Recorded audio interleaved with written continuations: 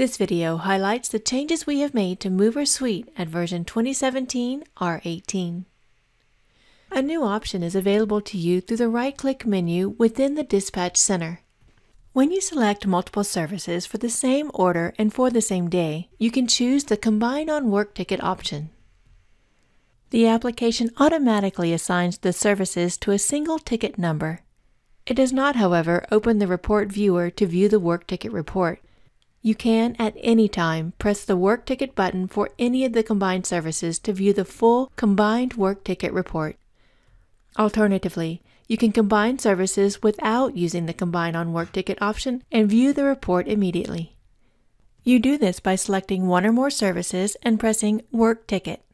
The application combines all the services for the same day and for the same order into a single work ticket. You can select as many services for any number of orders as you like. The application automatically combines all services for the same day and same service and opens the viewer to display all work tickets.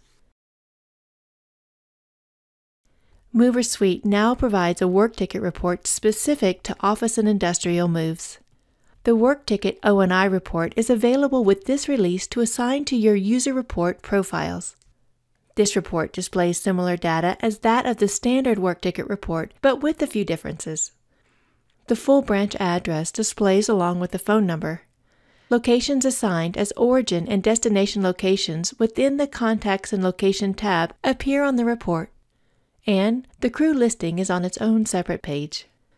The grid provides a couple of additional columns and provides a little more room to fill in actual crew times. Administrators can view the properties of the report through Report Setup and assign it to personnel through Report Profile Setup. Related to the new report is the ability to assign multiple work ticket reports to personnel. So, if a person's report profile contains more than one report with the system location of Work Ticket Report, then each report displays as an option when Work Ticket is pressed. In this example, we have three Work Ticket reports assigned to our profile. In MoversSuite, when we press Work Ticket, each report displays in a menu.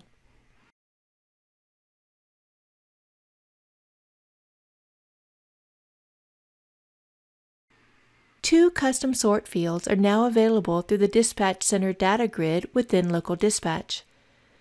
The Sort 1 and Sort 2 fields allow you to enter any text you like up to 16 characters in each field. You can simply click in either field and type your entry. You can also utilize the copy and paste functions as well. For instance, you can select an entry from one sort field using the Ctrl plus C keyboard combination and paste it into a different sort field using the Ctrl plus V keyboard entry. You can copy from applications outside of MoversSuite as well and paste the text into either sort field. We anticipate you using these fields to add an additional filter to the grid to assist you in streamlining your process. Options available to these columns include the ability to sort the data by clicking on the column header.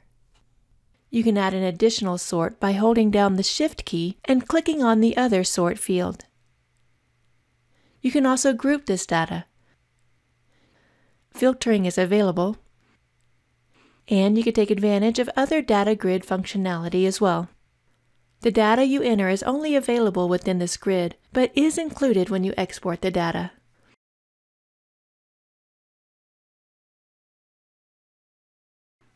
A new option added to Building Setup allows you to customize building constraints for each building record. The list of items available here are those defined within the Building Constraints setup. Adding an entry here allows you to set specifics for the constraint that are unique to the building record. For example, if you know that the building has three elevators, you can override the default elevator constraint with properties needed for this particular building. You can check the Yes flag and enter in specifics on which elevator to use at the site. When viewing this information from within the Job Information tab, you can see that all defined constraints show for each building. And the constraint added through Building Setup lists the specifics entered for the elevator item. The building constraints are now available as letter management bookmarks. The information that displays for a location within the Building Constraints section of the Job Information tab can display on your documents and emails. When adding bookmarks, you have access to three bookmarks that reference each of the three available location types within the Office and Industrial module. They include destination, origin, and other locations in each list under the Office and Industrial group when inserting bookmarks. When documents generate that reference these new bookmarks, the application inserts the information as a table. Each component of the constraint displays in its own labeled section. You can modify the table to some degree by adjusting the column width, font style, and more. The destination and origin bookmarks correspond to the locations that are marked as such within the Contacts and Location tab. The Other bookmark displays all other locations. For example, if you have three other locations on your O&I order, then three separate tables display within the generated document. Eight new bookmarks are available to you. From the Move Information tab, you can add bookmarks for the estimated weight, miles, discounted line haul, and type of move. On the Agents tab, survey date and the survey start and end times are available to you. From the Billing Information tab, you now have bookmarks for the purchase order and estimated amount. All the new bookmarks list under the Order Information group when inserting bookmarks through the Letter Management System. Order History now records changes made to six additional fields. On the Military Government tab, the gross and net weights associated to the original and reweight values are recorded in Order History.